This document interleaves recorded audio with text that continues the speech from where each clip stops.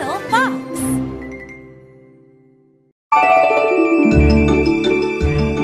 The Little Mermaid, Chapter 1 The Sea Kingdom.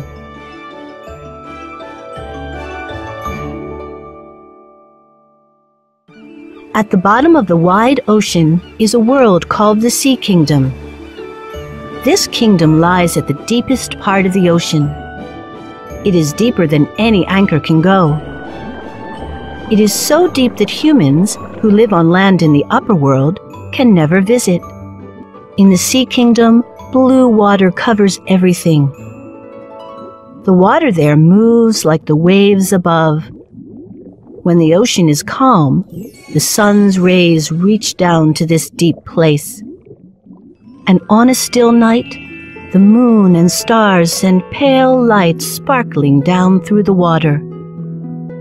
The most beautiful trees grow at the bottom of the sea. Some have purple branches and blue leaves. There are gardens with many brightly colored flowers, too. The plants all move slowly back and forth with each ripple of the water. Many kinds of fish, large and small, swim among the leaves and the flowers. They play all day and sleep among the rocks. Sea folk live in the sea kingdom, and they are called mermaids and mermen. They love to swim and play tag with the fish. The mermaids also love to feed the fish from their pretty hands. Like their fish friends, the mermaids and mermen have tails to help them swim. The sea folk love the ocean and everything in it. They would never want to live anywhere else. And they live a very long time, about 300 years. The sea folk are happy to spend their days singing and playing in the gardens. A long time ago, a king lived in a palace at the deepest part of the sea. He lived with his six young daughters, the mermaid princesses. His palace had walls of bright orange coral. Black mussels covered the roof. Their shells opened and closed with the changing of the tide. When each shell was open, a silver pearl twinkled from within. The Sea King was kind and ruled over all the beings living underwater. He loved to make them happy, but he lived with a broken heart. How sad that my wife, the Queen, died many years ago. He sighed. Now I care for the six mermaid princesses all by myself. Oh, no, you don't, said his mother, the wise mermaid. I'm the one who takes care of them. And I make sure the palace is clean and tidy, too. Son, you always forget about everything I do around here. You are right, Mother, said the Sea King with a smile. This family is very lucky to have you. The wise mermaid knew a lot about the world, and she taught her granddaughters well. When you are ready, she always told the princesses, I will teach you about life above the sea. The sisters were each born one year apart. When each sister turned 15, she would be allowed to swim up to the sea surface. Then the mermaid princess would see the upper world for the first time. The mermaid princesses were happy with their simple lives in the sea kingdom. Every one of their days was spent in fun and laughter. But the youngest princess was different. She was quiet, thoughtful, a bit unusual. Because she was the youngest and the smallest, they called her the Little Mermaid.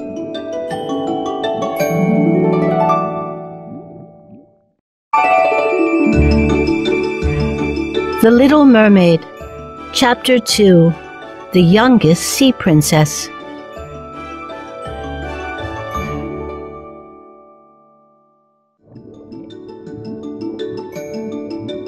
Each princess had her own small garden. One princess made her flower bed in the shape of a whale. Another princess made her garden in the shape of a shell. The sisters filled their gardens with odd things they had found in sunken ships. But the little mermaid's garden was simple. It had only red flowers and a statue of a human boy. The statue had been her mother's, and the little mermaid loved it. While her sisters played in their gardens, the little mermaid sat quietly in hers. Looking at the boy, she wondered about humans and the world above. What is it like in the upper world? She asked her grandmother one day. Oh, little one, there is so much to see, said the wise mermaid. There are thick forests of trees that turn colors when the air turns cold. Soon after, their leaves fall to the ground. Then the snow comes. Snow? said the little mermaid. What's that? Snow is made of thousands of small ice flakes, replied her grandmother. In winter, these flakes fall from the sky. But in summer, green grass covers the ground, and the flowers give off a lovely scent. It sounds wonderful, the little mermaid said. Here, our trees always look the same, and the flowers have no smell at all.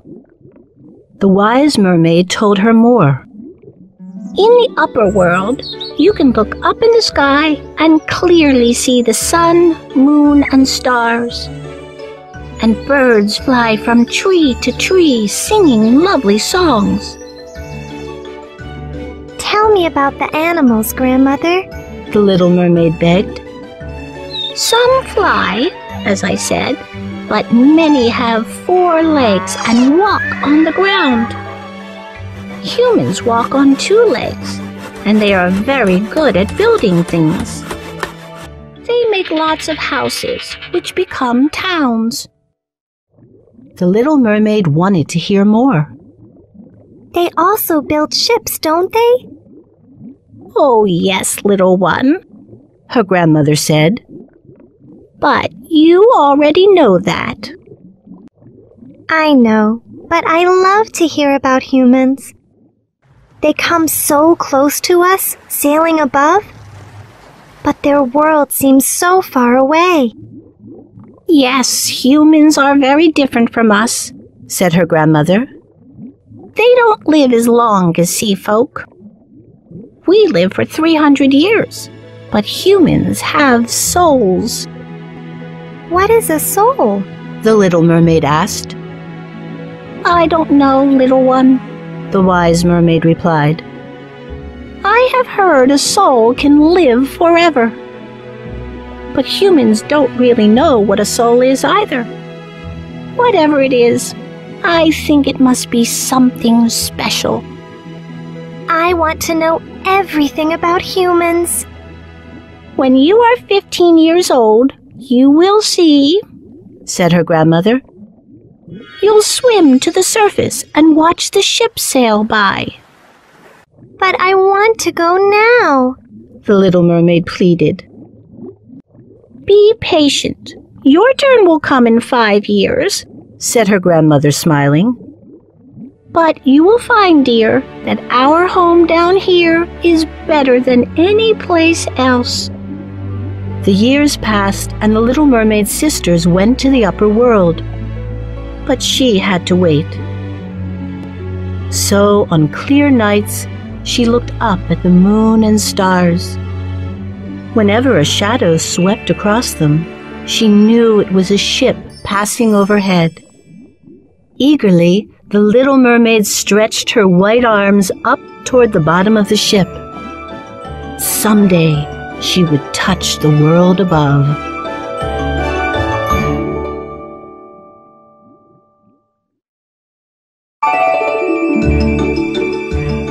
The Little Mermaid Chapter 3 Tales from the Upper World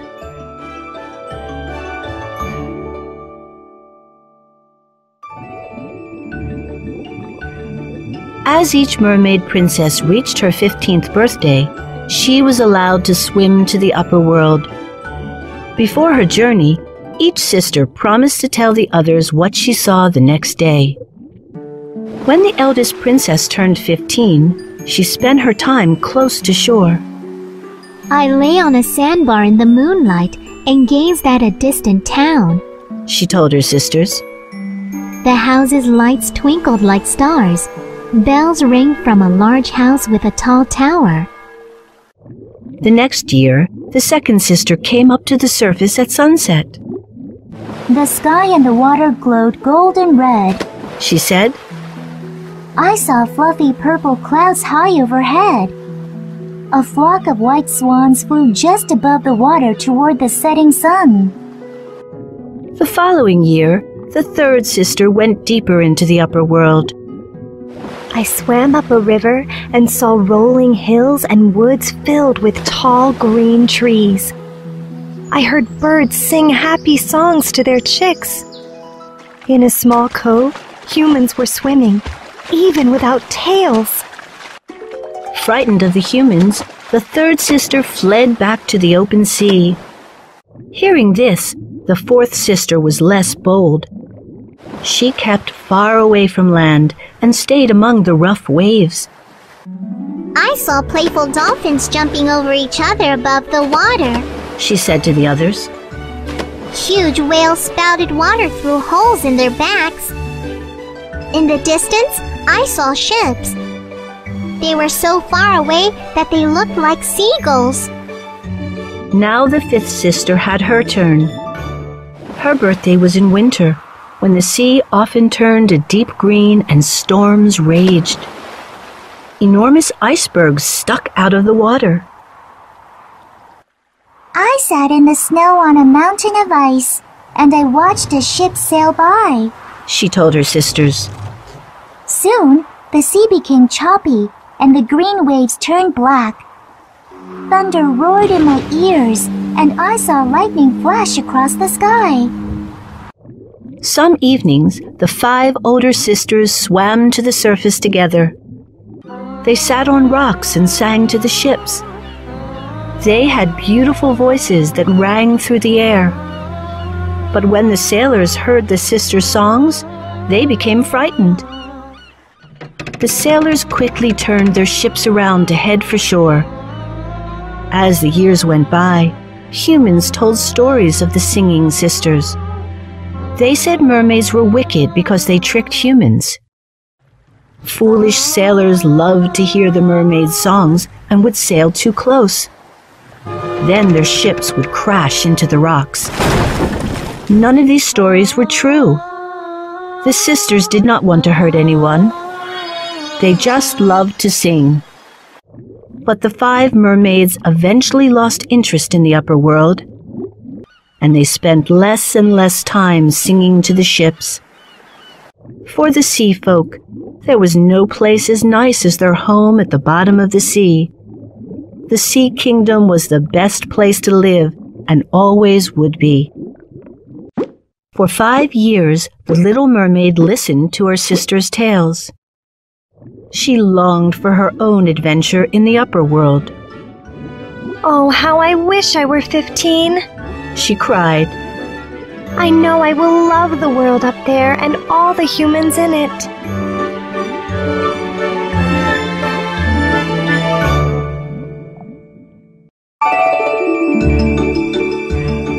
The Little Mermaid Chapter 4 The Little Mermaid Surfaces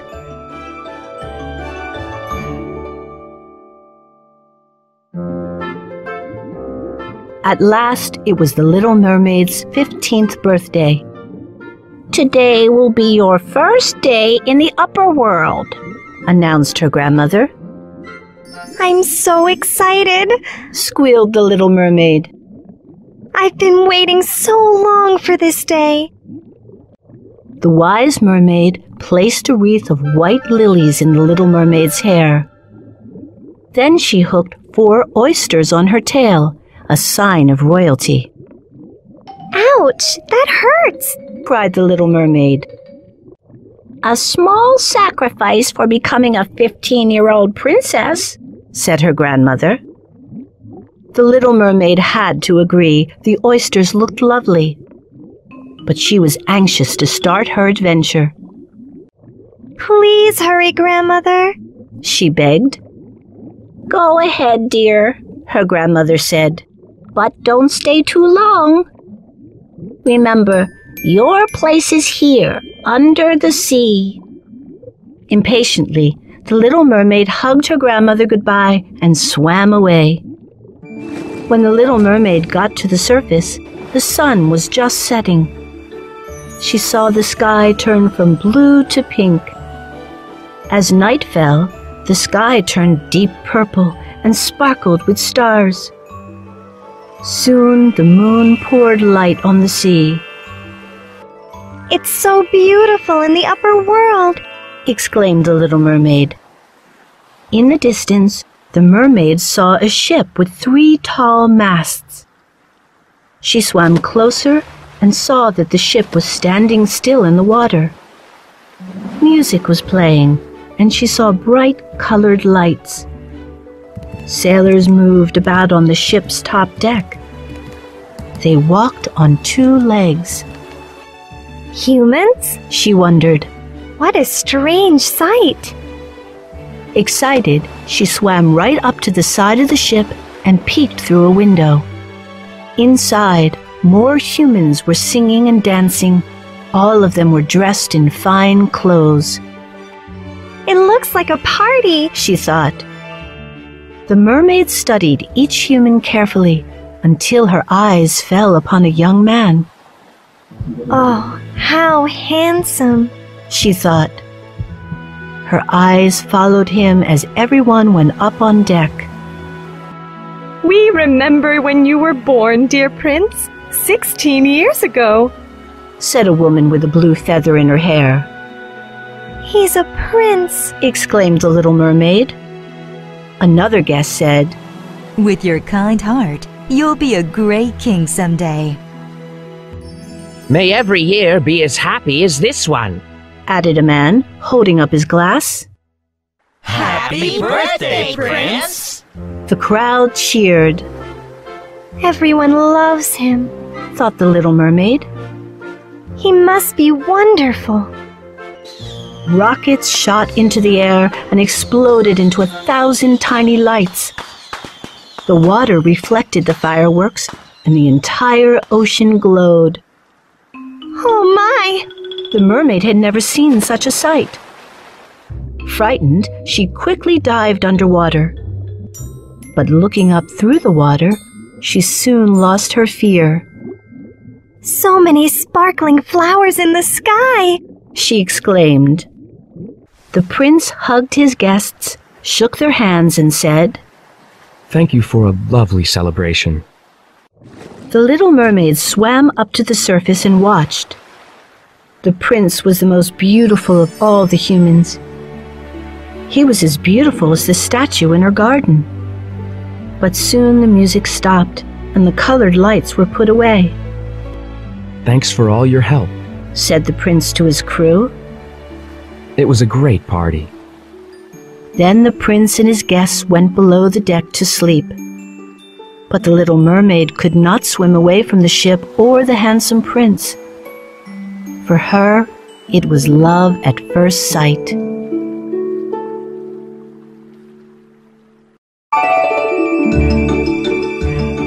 The Little Mermaid Chapter 5 The Storm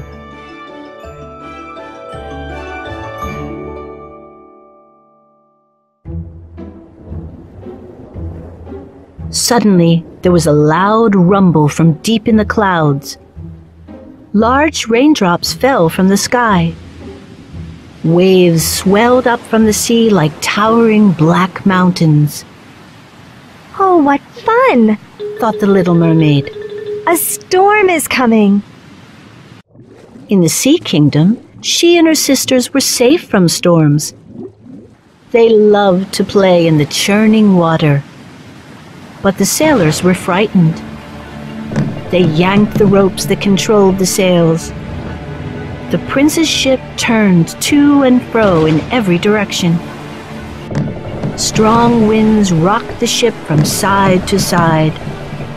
The angry sea would not let them sail back to land. All hands on deck! shouted one sailor. The ship is out of control! shouted another. Unafraid, the little mermaid waited in the distance. Through the darkness, she watched the ship and thought, Lucky me! Now the prince can't sail away. Maybe I can get another look at him before morning. The little mermaid didn't understand that the ship was in danger. The storm grew stronger and huge waves crashed on the deck. The wind beat against the sails and tore them to pieces. Then, without warning, the main mast snapped and fell into the water. The boat began to tip to one side, and seawater flooded the deck. Get out the lifeboats! cried a sailor. We must save the passengers! But it was already too late. A bolt of lightning struck the ship, and a strong gust of wind blew out all the lights. Suddenly, everything was pitch black. Then another lightning bolt struck and set the ship on fire. Burning pieces of the ship were scattered everywhere. By the blazing light, the little mermaid could see that the humans were fighting for their lives. Oh no, she cried. The poor humans. Some of them were thrown into the sea. Others jumped from the flaming decks. Help! Help! Help! They screamed as they fell into the water. The little mermaid saw the woman who wore the blue feather holding onto a table leg. A man was trying to swim to shore. Save me! cried one guest. I don't want to die, cried another. All struggled to keep their heads above the waves. The little mermaid searched desperately for the prince. Finally, she saw him. He was trying to keep afloat, but he was tired. He began to slip below the surface of the water. He's going to visit the Sea Kingdom, said the little mermaid happily. But then she remembered that humans could not live beneath the sea. Unlike the sea folk, they could not breathe in the water.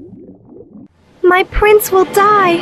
Oh, I must save him, she cried.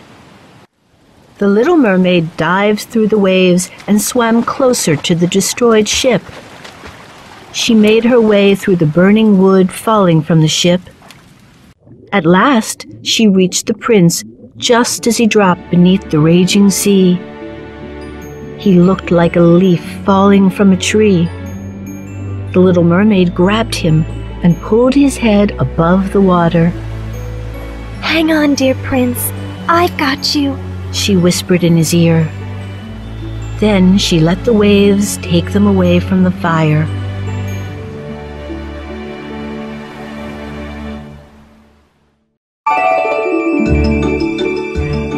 The Little Mermaid, Chapter 6 Daybreak.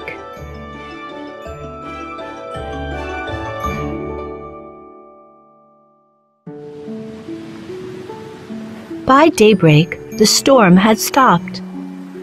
The little mermaid swam to a beach, pulling the prince through the water. Then she stretched the prince out on the white sand. You're safe now, she told him. But he was not awake and could not hear her. She looked around. She was in a little cove with a small garden just beyond the beach. The garden had white benches surrounded by fragrant lemon and orange trees. Just behind the garden, she saw a large brick building. It has such a tall tower and such big wooden doors, cried the little mermaid. She held the prince's head and ran her fingers through his wet hair.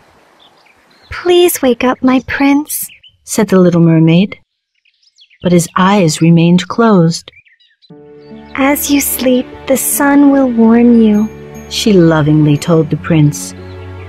The little mermaid stared at his handsome face and then kissed his eyelids. He looks even more handsome than the statue in my garden, she thought. But my prince is real. Suddenly, the little mermaid heard a sound she'd never heard before. The tower was making a loud clang. The little mermaid looked up. Could that sound be church bells?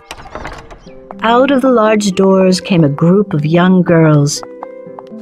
They were dressed in simple white dresses, and their hair was pulled back with white ribbons. Who are they, and what are they doing here? wondered the curious mermaid. The girls gathered around the benches, laughing and talking. The humans must not see me, whispered the little mermaid, suddenly afraid. Please stay safe, my prince. The mermaid left the beach and swam out to a rock. She covered herself with sea foam so no one would see her. Then she watched the beach. Look! shouted one girl to her friends. Although she was dressed like the others, she was more beautiful. She had big green eyes and long dark lashes. She ran to the beach and stared at the young man, who still had not moved. Come here, I found someone. The girl touched his face to make sure he was real.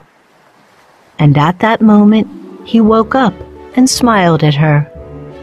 Oh, maiden, what have you found?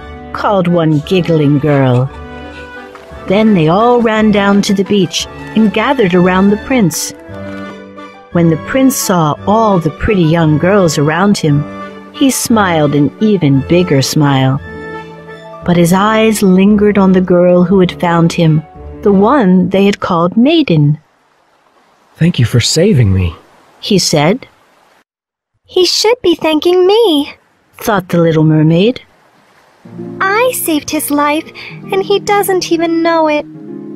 Come inside to get warm, said Maiden. She led him toward the church. The others followed and then disappeared through the big doors. They're taking my prince away from me, the little mermaid said from behind her rock. If she could have cried, her tears would have fallen one by one into the sea. But mermaids are unable to cry, so no tears mingled with the crashing waves. I must go home to the Sea Kingdom, said the little mermaid. But I'll come back for you, my prince. And she dived underwater.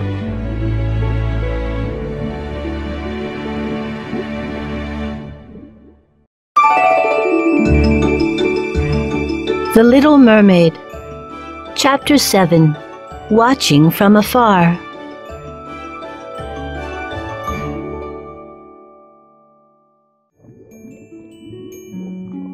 At first, the little mermaid decided to keep her love for the prince a secret. I will tell no one, she thought. Maybe I will forget about him if I don't speak of him. But she could think of nothing else. Finally, she told her eldest sister, I have fallen in love with someone from the upper world. Oh no! cried her sister. Who? He is a prince, said the little mermaid. But I don't know where his kingdom is or where he lives. Her sister told other sea folk what the little mermaid had said. Soon, one mermaid heard the tale and visited the lovesick princess. I know where he lives, she told her. His palace is on a hill just beyond the sea cliffs. Please take me there, begged the little mermaid. We have no legs to walk to his door, the other mermaid said. But we can swim to the cliffs. From the high rocks, we can see the little balcony where the prince sometimes stands. With her guide, the little mermaid swam to the cliffs and climbed onto the nearby rocks. From there, she saw a palace built of golden stones. A steep stairway led from the ocean to the palace entrance. And sure enough, on one side of the palace was a balcony. Oh, maybe I will see him, cried the little mermaid, peering from behind a rock. She forgot all about her guide, who soon swam away. From that day on, the little mermaid visited the cliffs every evening. She sat on a rock and waited for her handsome prince. Once in a while, she caught sight of him, standing alone in the bright moonlight. Oh, Prince, I long to talk to you, she said. But I can't reach you, so I'll sing to you instead. The little mermaid thought the prince would notice her if he heard her voice. In the Sea Kingdom, everyone said she had the sweetest voice of all the mermaids. My home is in the sea. Your home is in a place I cannot be. But your handsome face is in my heart, and my whole heart is in your hands. Come to me, my prince, come to me. But he was on land and she was in the waves. Under the stars, the ocean breeze carried her voice away, too far away to be heard. So she watched him from afar. Some nights, the little mermaid would swim to the harbor, hoping to see him on the dock. But most of the time, she saw only fishermen with their nets, talking and laughing. What a smart and kind young prince, a fisherman said. He will make a great ruler someday. The little mermaid thought about her time with the prince as he lay on the shore. And to think it was I who saved his life. She shivered with pride and love. The little mermaid remembered how she had kissed his eyelids. But the prince knew nothing of what had happened.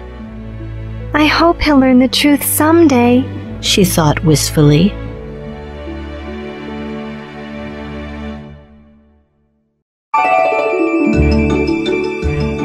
The Little Mermaid, Chapter 8 Dreaming of the Upper World.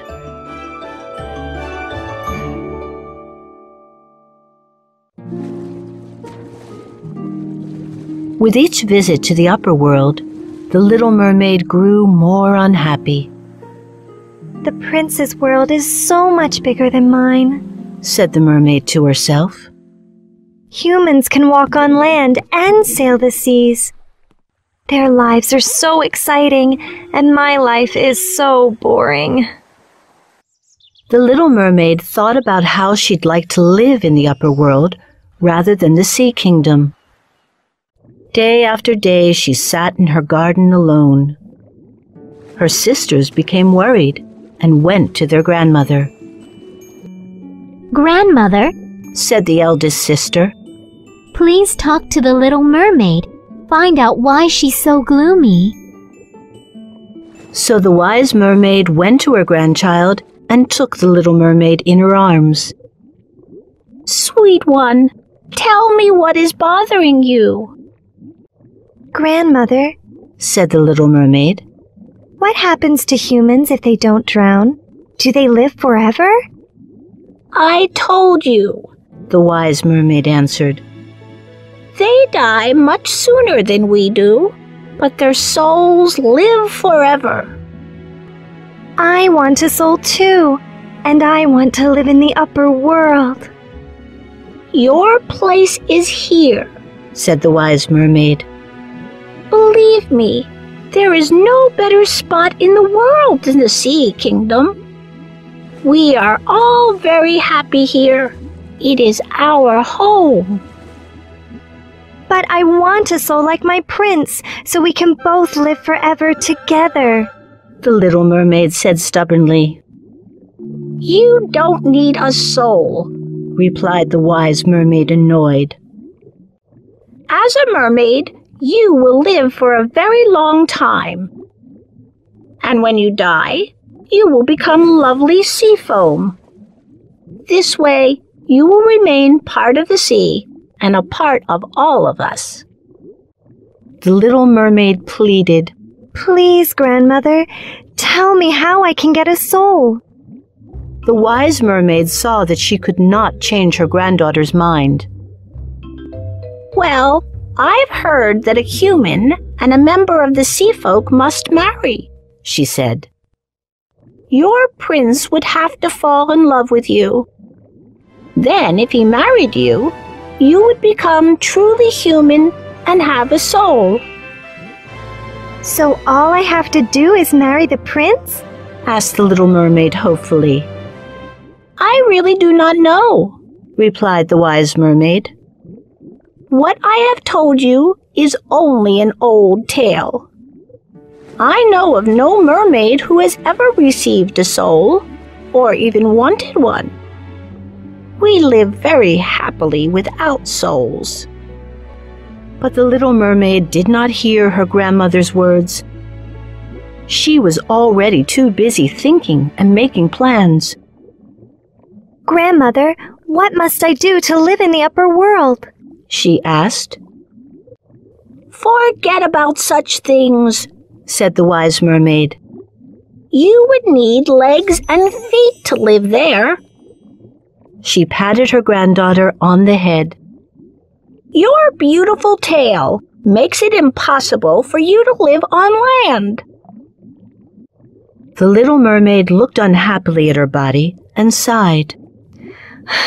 I hate my tail. The wise mermaid shook her head and said, You are lovely. Now go and play. Stop thinking about the upper world. The little mermaid swam away, but she didn't play. She thought, There must be some way to fulfill my dream.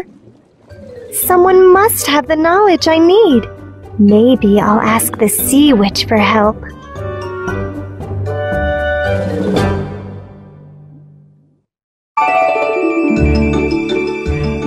The Little Mermaid Chapter 9 The Journey to Guba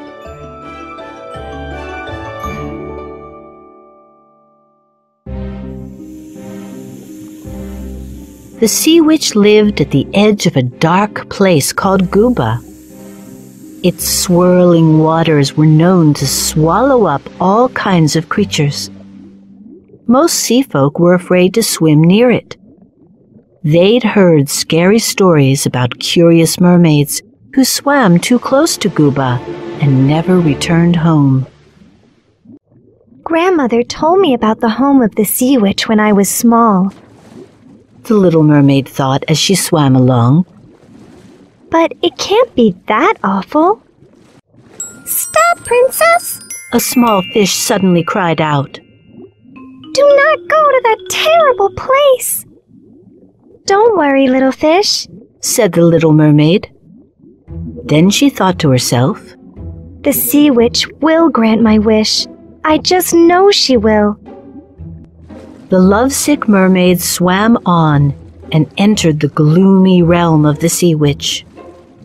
This place is as ugly as the sea kingdom is beautiful, she said to herself. Instead of gleaming white sand, the seafloor here was dark and slimy. Mud seeped from every hole and every crack. Where are the sea flowers? wondered the little mermaid. Where is the seaweed? Get out of Guba, princess, hissed a snake from the mouth of a cave. Who's that? asked the frightened mermaid. The snake vanished into the darkness of the cave. All of a sudden, the little mermaid saw twirling cones of water twisting this way and that. The cones were swallowing up everything within reach. Anything that became caught in the churning water was sucked down into the mud. I am not afraid, she said to herself. My strong tail can take me around the danger easily. And she swam around each cone of whirling water in her path. Next, she came to a muddy forest of thin trees with bony branches. Each long branch had twigs that moved like fingers, grabbing anything nearby. The tree's sticky fingers held fish bones and pieces of wood from sunken ships. The skeletons of drowned sailors hung from the tree branches. Oh dear, thought the little mermaid. The trees never let go of their victims. Terrified, she stopped. I don't think I can do this, she cried.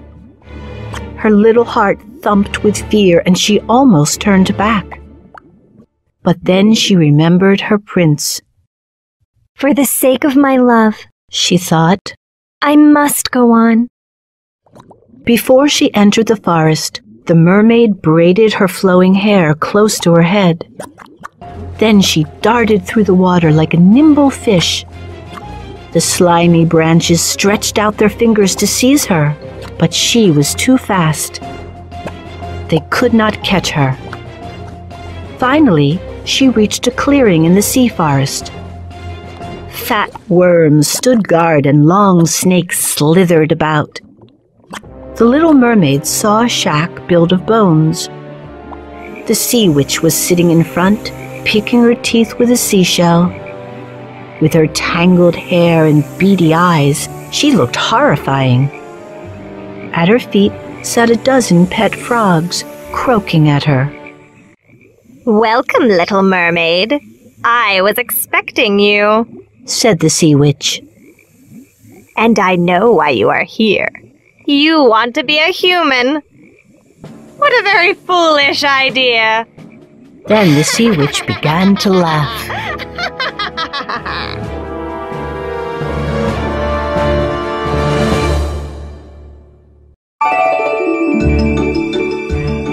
the Little Mermaid Chapter 10 The Sea Witch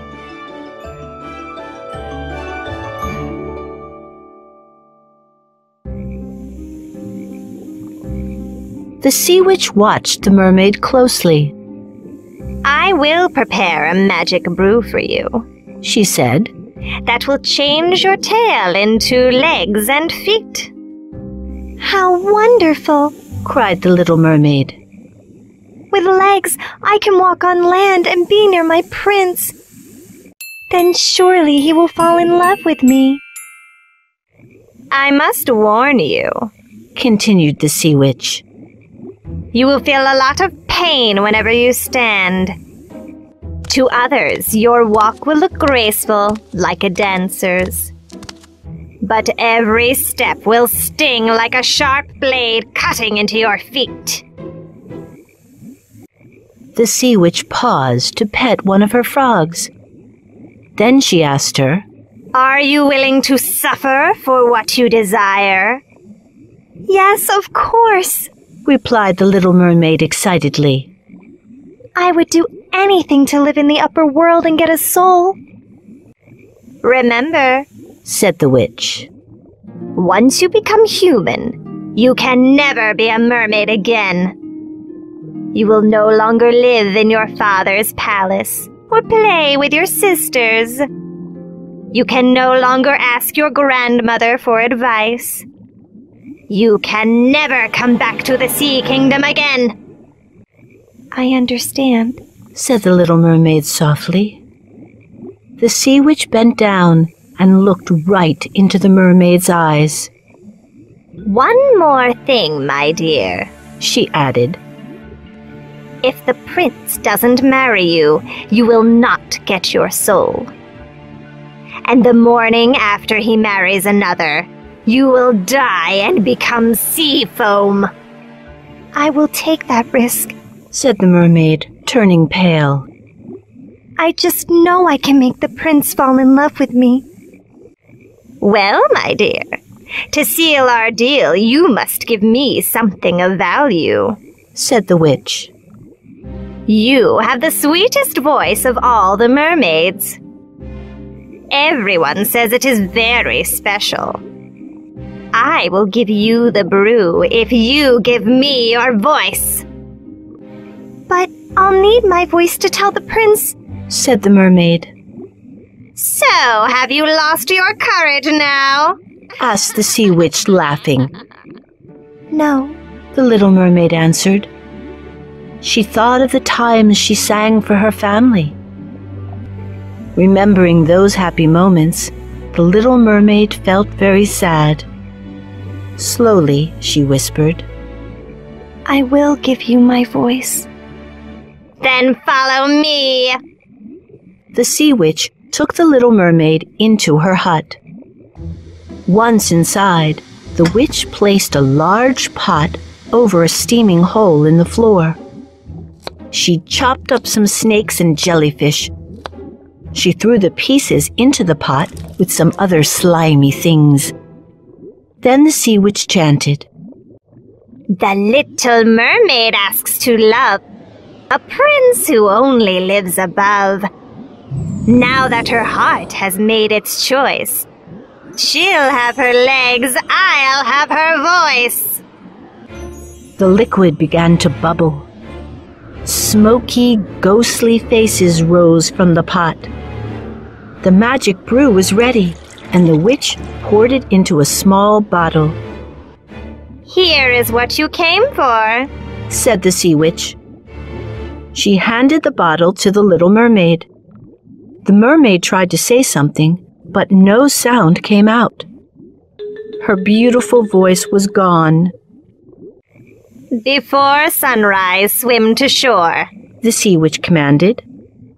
When you are on dry land, drink the brew I gave you. Your tail will split in half and become a pair of legs and feet. Now go. The little mermaid nodded silently.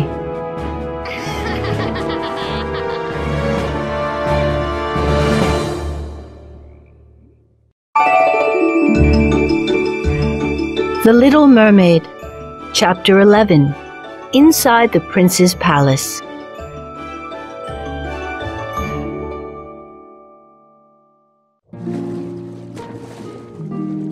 The little mermaid wanted to see her family before she left. But when she reached her father's palace, everyone was asleep. She felt a great sadness. I'm leaving my home forever, she thought. And I can't even say goodbye. Then, just before dawn, she swam to the cliffs near the prince's palace. The little mermaid could see the balcony after she crawled up on the rocks. Once on shore, she swallowed the bitter brew. Suddenly, she felt a horrible pain, like a sword striking her tiny body. As she fainted, the little mermaid saw her tail begin to split in two. When she awoke, she found herself on a velvet couch. Her body was covered by a cape. She looked up and saw the prince standing over her. I found you lying on the rocks, the prince said. Who are you and where do you come from? I am your true love, she wanted to say. I saved you from the sea. But of course, she could not speak. So she smiled at the prince, hoping he would understand. Come now, don't be frightened, the prince said warmly. But the little mermaid could only look at him with love. What is your name? he asked. The mermaid was silent. Finally, he said, I do not know why you will not speak, but you still need my aid. The prince helped the little mermaid stand up. As the sea witch had warned, every footstep felt as if she were walking on knives. Yet to the prince, she looked perfect. As they walked, she glided through the halls as lightly as a cloud. How graceful you are, the prince said as he led her into his rooms. He called his servants and ordered them to bring some clothes. Dress her as an honored guest of the royal palace, he commanded. Then he turned to her and asked softly, Would you like to accompany me to the royal performance today? The little mermaid nodded eagerly. After the servants dressed her in a blue silk dress, the prince led her to the palace hall to introduce her to his parents. How beautiful you are! exclaimed the queen. Where do you come from? But of course, the little mermaid could not answer. A tall woman entered the hall to perform for the prince and his parents. She sang very sweetly, and the prince clapped his hands in delight. The little mermaid sadly thought, I once sang even more sweetly. But as the little mermaid listened, she was surprised that she felt like dancing. She lifted her arms and her graceful feet glided across the floor. The little mermaid danced so magically that she charmed everyone, especially the prince. You are so special, he said. I will always keep you with me and call you my little companion. The little mermaid smiled up at him. Her eyes asked, Is that a promise? As time went on, the little mermaid became the prince's best friend. He took her with him wherever he went. They walked through the royal gardens and rode through the fields on horseback. They climbed mountains that almost reached the sky. And though she could not speak to him, she kept smiling, even as her feet stung with pain.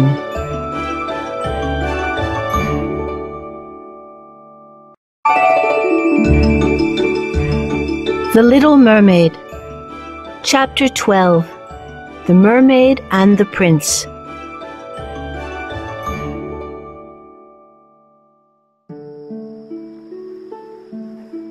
At night, while the others slept, the little mermaid went up to the palace balcony. From there, she watched the waves and remembered her family beneath the sea. One night, she saw her sisters swimming in the waves far away.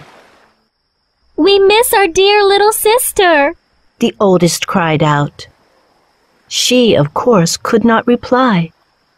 Instead, she thought, I miss you too but I will marry my prince and live happily in the upper world. When she waved to her sisters, they recognized her. They swam closer up to the rocks. She held out her arms to show them she would hug them if she could. From then on, they came almost every night to sing to their sister. Once, she even saw the wise mermaid who had not been up to the surface in many years. With her grandmother was her father, the Sea King. They stretched out their hands to her, but they did not come as close as her sisters. Her grandmother seemed to be saying, We miss you, our dear child. But the little mermaid still wanted a soul and to be with the prince. I love seeing the world with you, little companion, the prince would say. You are very dear to me. Yet he never suggested making her his bride. He sees me as his friend, but I need to be his wife, the little mermaid thought. And if he marries someone else, I will turn into foam on the waves. She shivered, thinking about such a fate. Sometimes the little mermaid begged the prince with her eyes. Please love me best of all. Love me enough to marry me. When she looked at him that way, the prince would take her in his arms. He'd kiss her lightly on her forehead in a brotherly way. But the little mermaid hoped that this would change. One day, the queen announced to her husband, It is time for the prince to marry. She wanted him to marry a princess from a neighboring kingdom. Let's arrange for them to meet, she told him. When the prince heard about this, he shook his head. I will never marry that princess, little companion, he said. I can only marry the one I truly love. Then he told the little mermaid his story. Once, I was on a ship that sank, and I almost drowned. Luckily, I was swept ashore. When I opened my eyes, I saw the girl who had saved my life. Her name is Maiden, and she brought me inside a nearby church. When I awoke the next day, she was gone. Though I saw her only once, that girl is the only person I would wed. Unless I find her, I will never marry. But it was I who saved you. thought the little mermaid. Please try to understand. But the prince could not understand and only smiled at her. Oh, little companion, do not feel sad because of my story. Even though I will never find her, I am happy with you by my side. If only he knew the truth. She thought. Someday, the prince will realize that I love him more than anyone does. And in time, he will marry me. She would have to be patient for a little while longer.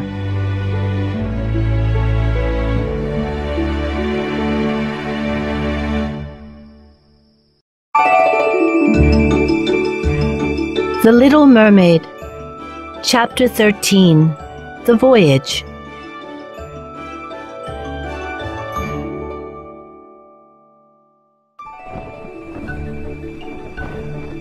The grandest ship in the kingdom was chosen to take the prince to the neighboring kingdom. Decked out with ribbons and banners, it was ready for the voyage. The prince explained the trip to the little mermaid. It is my parents' wish that I meet the princess. But you and I know that I will never marry her. After all, she surely cannot be the girl who saved my life.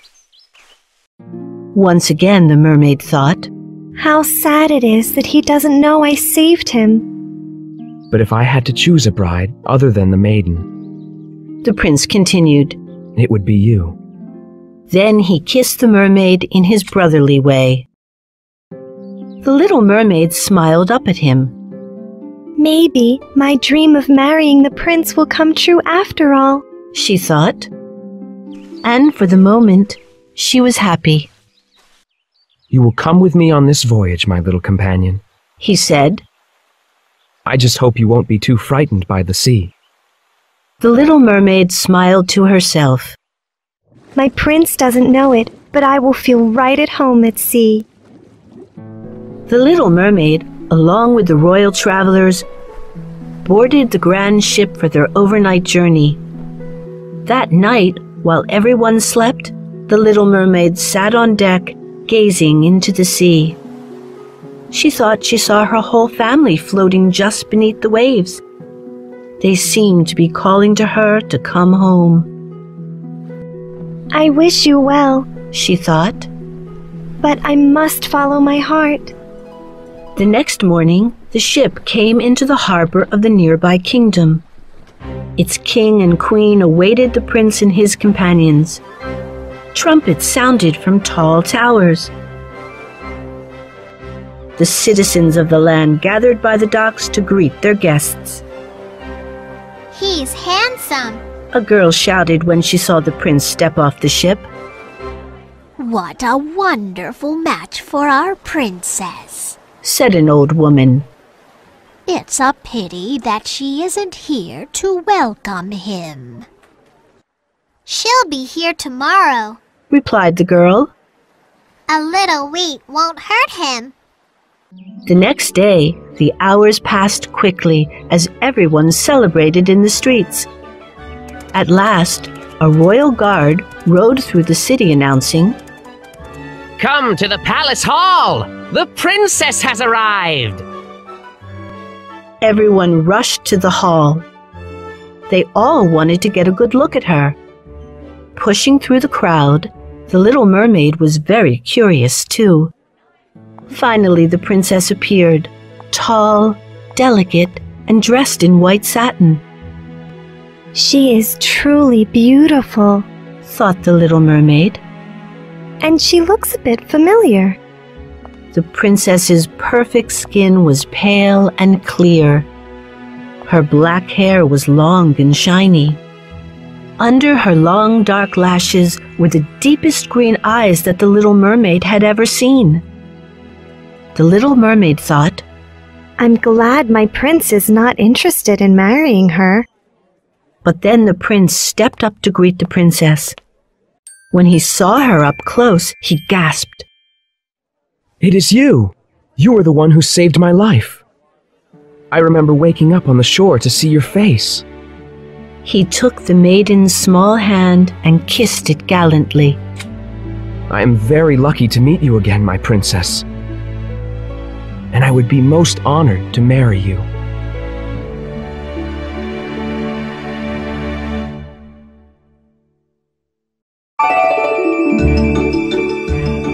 The Little Mermaid, Chapter 14 A Royal Wedding.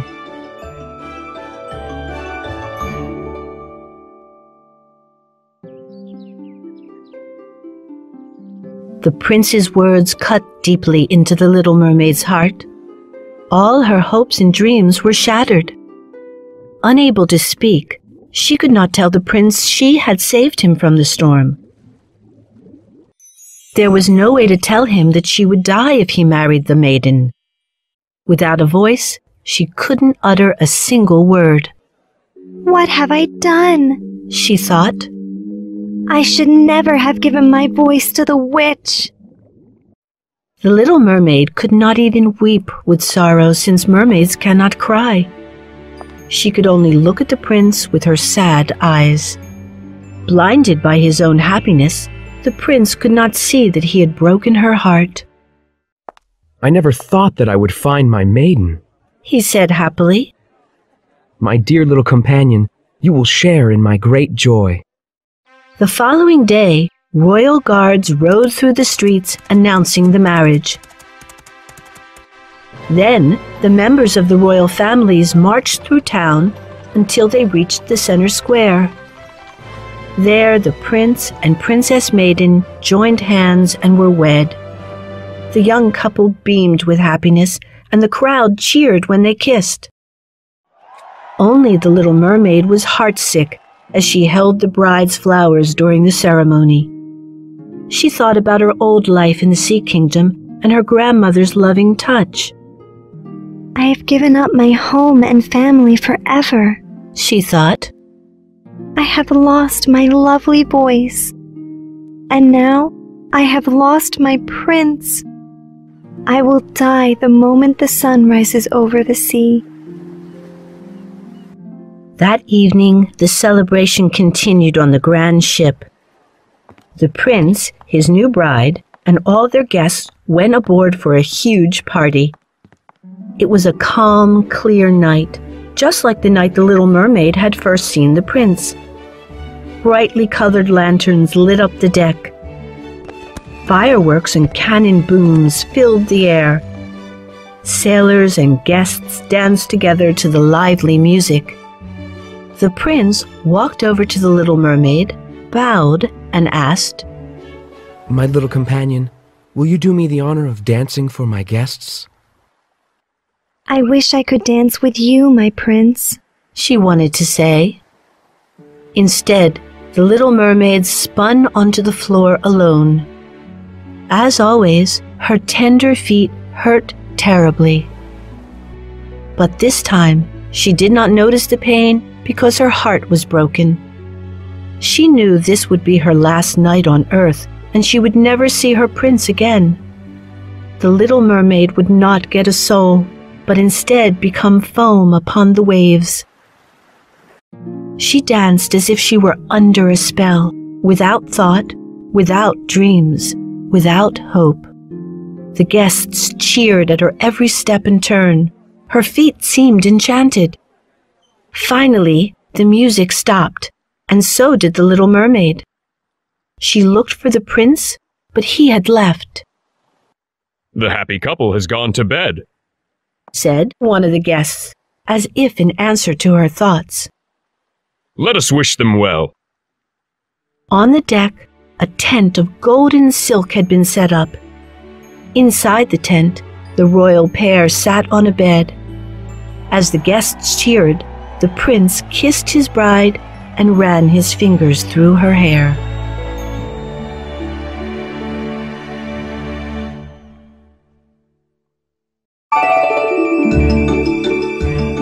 The Little Mermaid, Chapter 15 A Last Chance.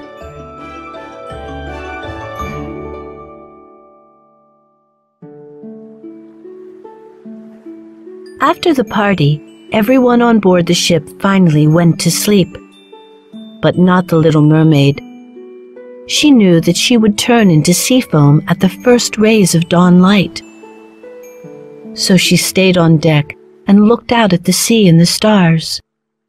My prince, my soul, and my future, they're all gone now, she thought. Minutes before the sun appeared, the little mermaid noticed some movement in the water near the ship. Suddenly, she saw five figures rising from the waves, waving to her. The little mermaid didn't recognize her sisters right away. Their long and lovely hair was gone. Together, they swam close to where she stood. Their heads bobbed above the water as they spoke. We're here to save you, cried the eldest sister. When we found out about the prince's wedding, we went straight to the sea witch for help. The second sister explained. She gave us a magic dagger that will save your life. In exchange, she demanded our hair. The third sister told the little mermaid what the witch had instructed them to do. Before the sun rises, you must plunge the sharp blade into the prince's heart. Once he is dead, you will become a mermaid again. The little mermaid trembled. But I don't want to hurt my prince, she thought. When the little mermaid hesitated, the fourth sister added, Please, sister, you must kill him to save yourself. Then you can come home with us. The fifth sister spoke for them all. We all miss you. Our grandmother and father are waiting for you. You belong in the Sea Kingdom. But I wanted my life to be different, the little mermaid thought sadly. The eldest sister yelled impatiently. Hurry! You must be quick! It's almost daybreak! Kill the prince now! She threw the dagger up into the air, and the little mermaid caught the knife easily. Please, hurry, sister! cried the five mermaids as they dived back beneath the waves. The little mermaid looked at the knife. She was uncertain about what to do. This gift had cost her sisters their beautiful hair. They had given her a last chance to save herself. The little mermaid crept up to the royal tent and parted the curtains. She stepped lightly inside and saw her prince with his arms around his new bride. They were both fast asleep. The little mermaid felt both anger and tenderness. Through the thin cloth of the tent, she saw that the morning sun was about to rise. Time was running out. Her chance was almost gone. She looked at the dagger and then at the handsome face of the sleeping prince. It was either her life or his. She lowered the knife close to his heart, but then stopped. How can I kill him? She thought. I love my prince. He must live, even if I must die. So the little mermaid ran out of the tent and flung the knife into the waves. Then she threw herself over the side of the ship and into the sea. She thought she could feel her body dissolving into thousands of bubbles of sea foam. Soon, the little mermaid would be no more.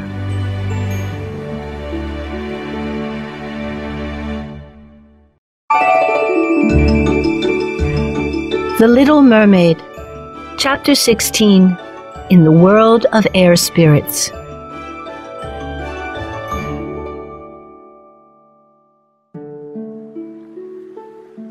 The little mermaid felt the warmth of the morning sun on her face. To her surprise, she was not dead and had not turned into sea foam. Instead, she was floating above the water. It is dawn and I am still alive? She wondered. Above her head were two strange beings in long white robes. They looked as if they were waiting to greet her. They smiled as they floated in the air like clouds. She tried to touch them, but her hand went right through them. The little mermaid soon discovered that she was dressed in a robe too. Like them, she was also part of the air and floating like a cloud. Without thinking, she called out to them. Who are you? To her surprise, she heard her own voice. And it was just as beautiful as it had been before she gave it to the sea witch. We are the spirits of the air. One of them replied. We travel through the world doing good deeds. Why am I here with you? The little mermaid asked. Your loyalty to the prince and your sacrifice has raised you up to the world of air spirits. The other said, You are now one of us. The mermaid was curious. I need to know more. Do you live for 300 years like the sea folk? Do you have a soul like the humans? Here, in our world, we also live for 300 years. But we can earn our souls. When we do, we live forever. I've always wanted a soul, said the mermaid. What must I do to deserve one? If you do many good deeds throughout your 300 years, you will get a soul, answered one of the air spirits. Exactly what is a good deed? asked the little mermaid, now very interested. A good deed is when you do something nice for humans. The spirits of the air watch over humans. We bring them food when they are hungry and clothes when they are cold. Sometimes we whisper good thoughts into their ears when they are sad. We try to help in any way we can. Pleased, the little mermaid looked down to the earth. She liked the idea of watching over the humans whom she had learned to love. I finally have a chance to earn a soul, she said, laughing. The little mermaid's joy was so great that for the first time in her life, she began to cry. Her tears of happiness fell one by one into the sea below her. Then the little mermaid saw the grand ship. She could see that everyone on board was now awake. The prince and his bride were looking for her and calling out. After a while, they just gazed sadly out to sea. What has happened to my little companion? wondered the prince. She was so faithful to me. The little mermaid blew him a kiss that turned into a white feather. Floating softly down, it brushed the prince's cheek. Then she blew another kiss to his bride. She wished them both well, her first good deed.